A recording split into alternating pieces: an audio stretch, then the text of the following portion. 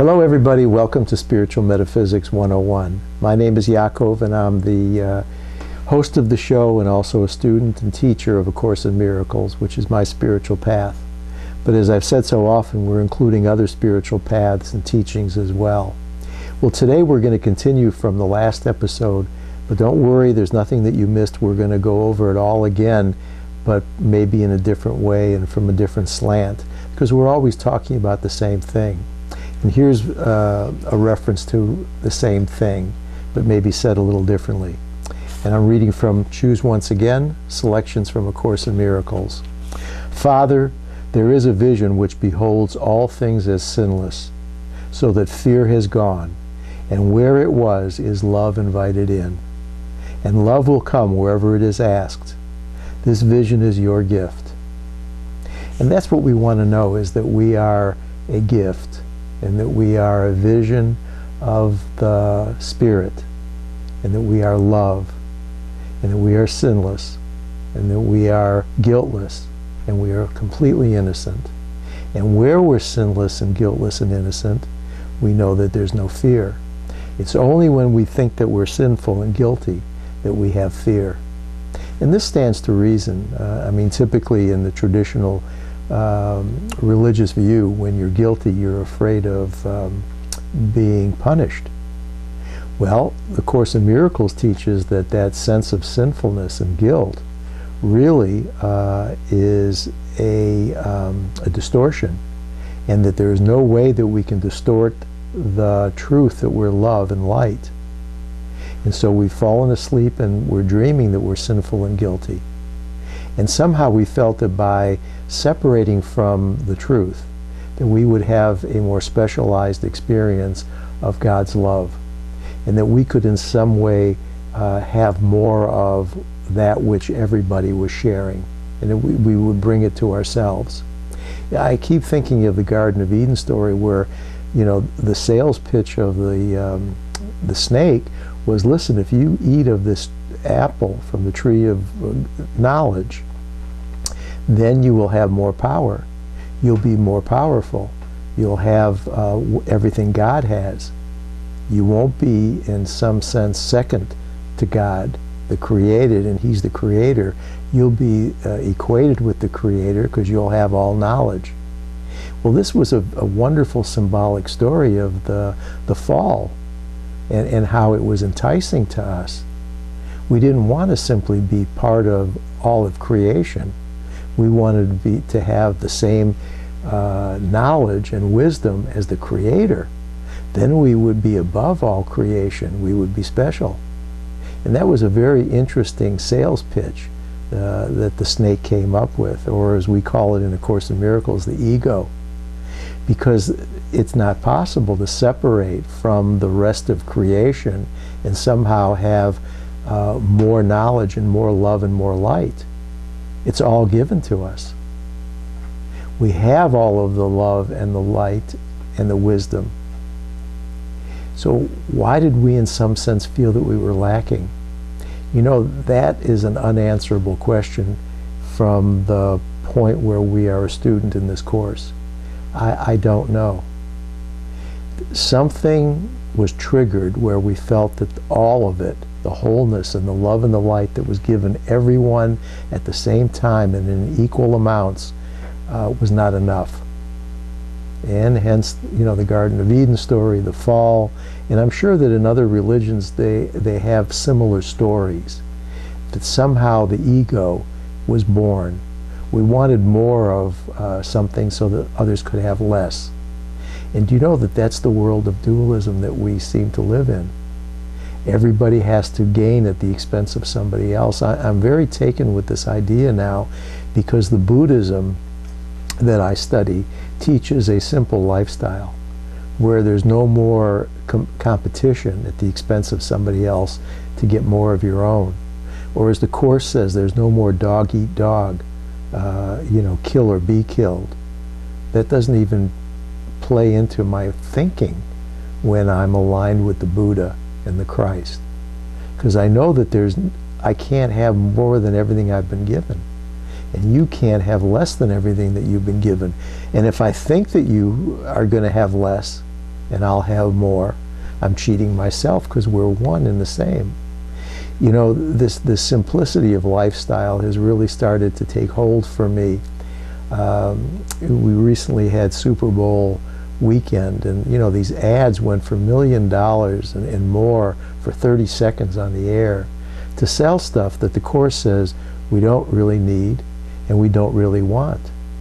And the interesting thing about advertisements is that it's to generate an interest in us because it doesn't really exist. We're, you know, being sold something and um, the underlying message is that without it you're not whole and complete.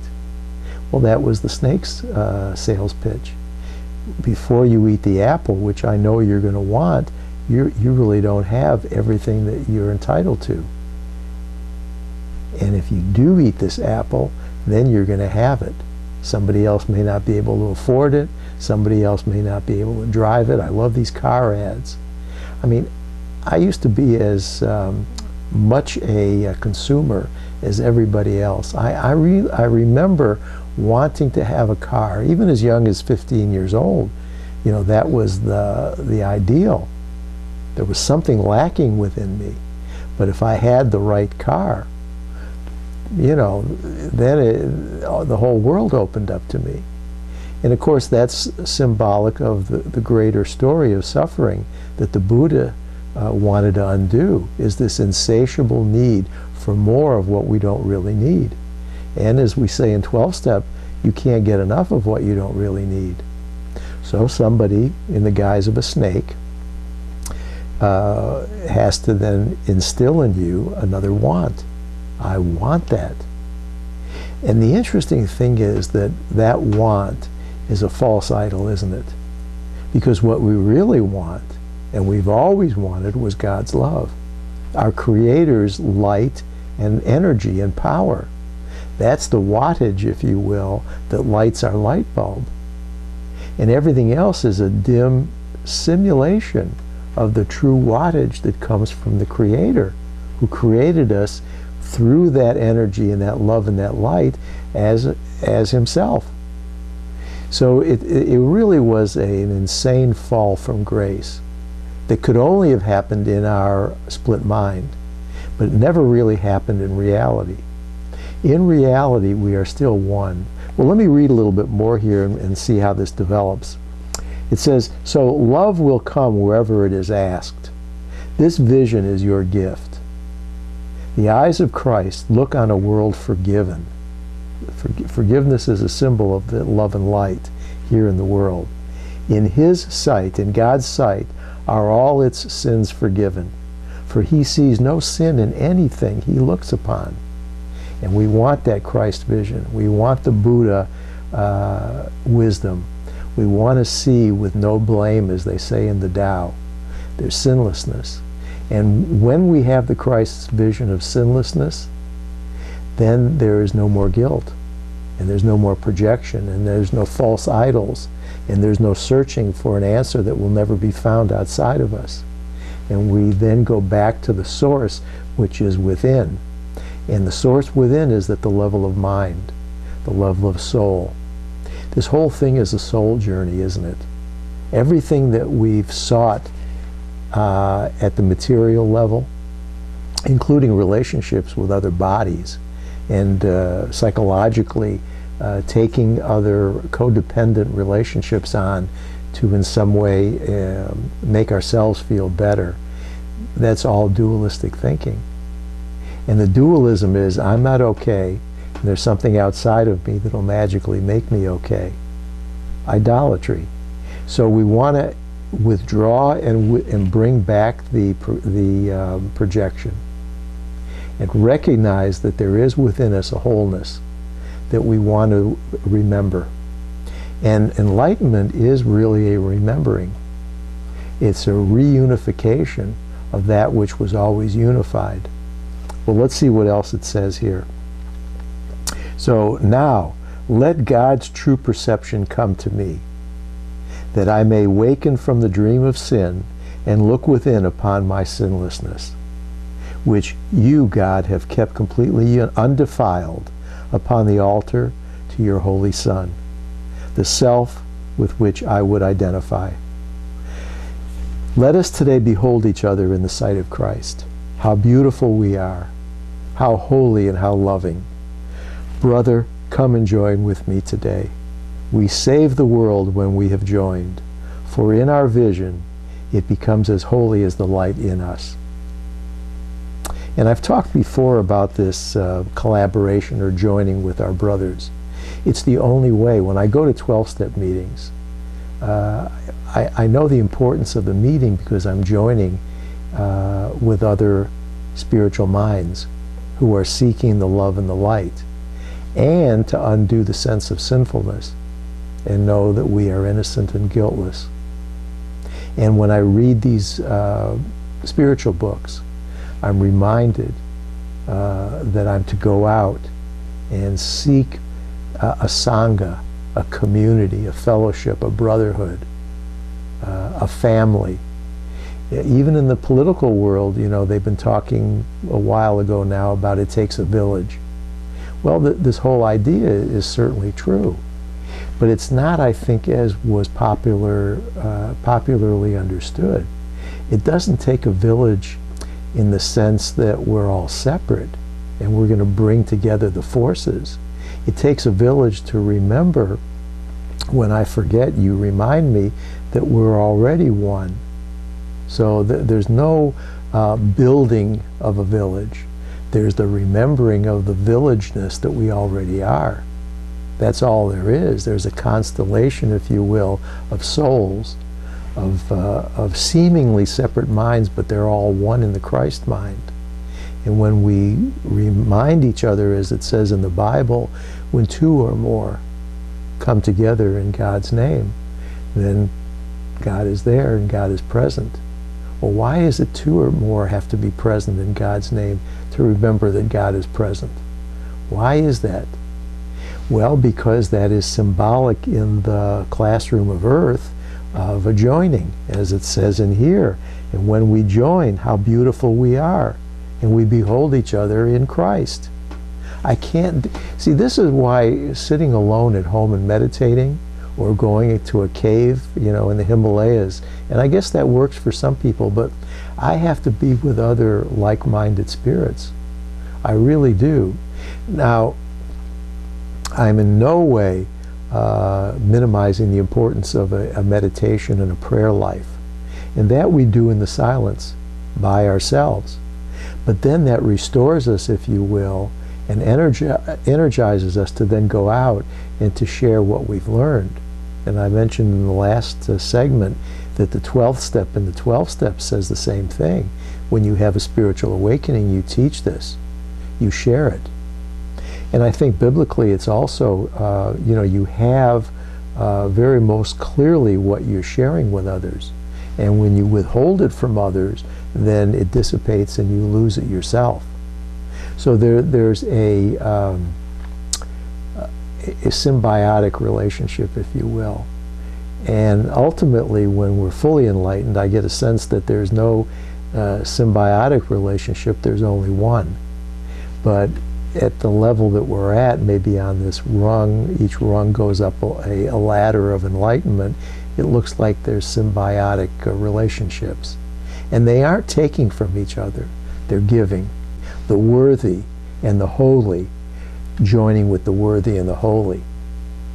And in that recognition, uh, we are we are enlightening we are enlightening the sonship we are enlightening the entirety of those that still remain asleep. But the, the worthy and the holy are recognizing the worthy and the holy. I'll give you an example. The only way to, to really truly forgive somebody is to see them as whole and complete, not as sinful and guilty.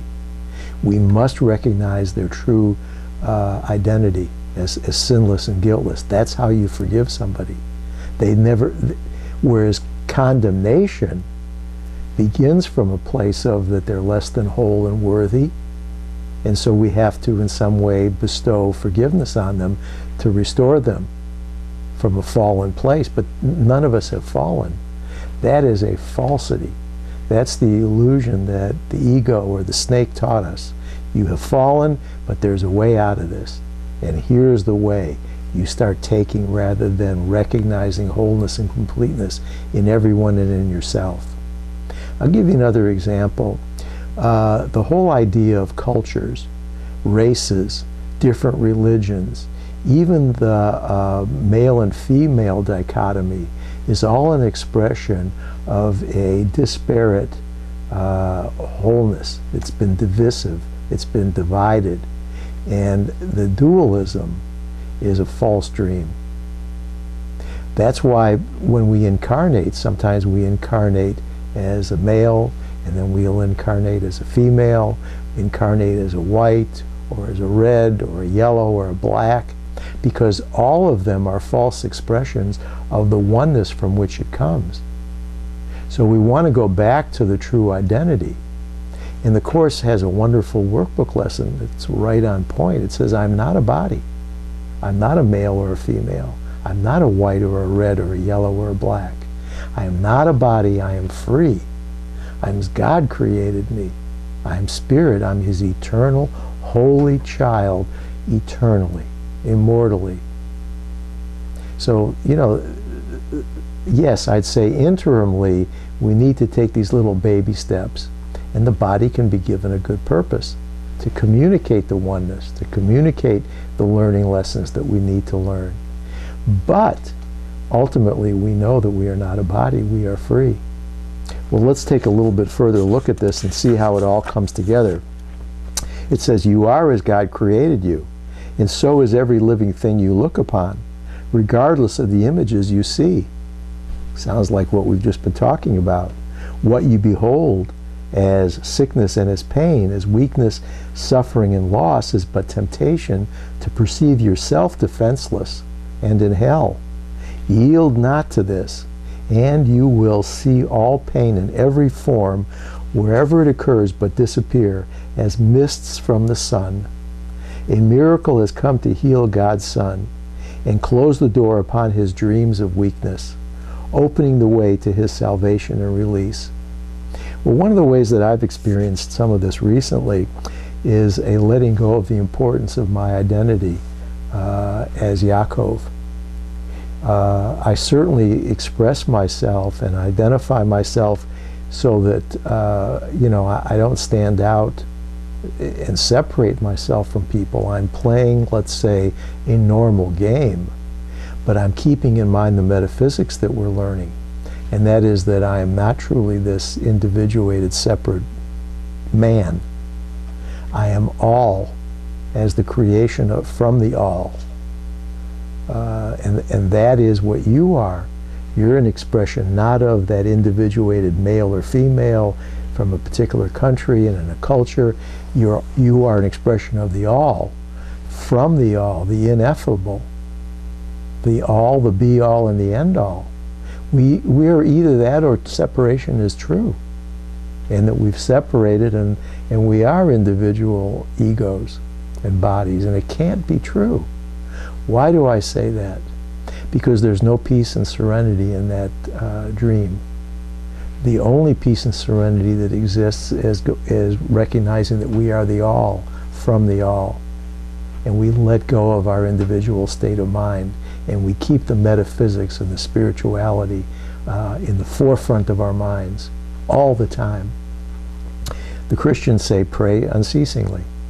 The Buddhists say you're a, a lotus becoming. And when you're the Buddha, you recognize, they say, when you see the Buddha coming down the road, kill it. And what that means, I think, in, in regards to what we're talking about, is it couldn't be separate from you. How could you be going down the road and seeing a separate Buddha? The Buddha is the all from the all, and we are all from the all. So you want to kill the idea of dualism. You want to kill the idea of separation. You want to kill the idea of sin over there and the face of innocence and sinlessness over here. I'm okay, that person is, sinless, is sinful. It has to stop, and it stops with you. And it stops with me because we're the all from the all. I think Gandhi, you know, had, and Martin Luther King, and some of the other, uh, you know, more modern figures uh, who were who were so enlightened recognized that the only way out of the suffering and the, the sense of fear was through love. And it was a tremendous risk in the eyes of the world. How could they risk, you know, taking on the whole British army in India uh, from a place of love? But what they recognized is it was love meeting itself, and it's all from the all. And that then dispels the darkness. I'm so, um, you know, attuned now to this metaphysics that we're, we're learning that it's, it's very hard to take the news seriously. It has to be a, uh, a falsity. There, the darkness, it cannot be true. Only the light exists. And consequently, as A Course in Miracles says, the more we wake up, the less we suffer. And it's a happier dream. Granted, I'm still thinking and dreaming that I'm here, but it's a much happier dream. And I don't seem to be attracted to the, um, the media which promotes the darkness. I don't I, am not attracted to the, um, the false idols which used to call out to me, and uh, they're false. So they used to call out to me as, you know, bow down to me, and you will know peace and love and serenity, and you will know oneness with uh, what you are. It never happened in a car that I bought.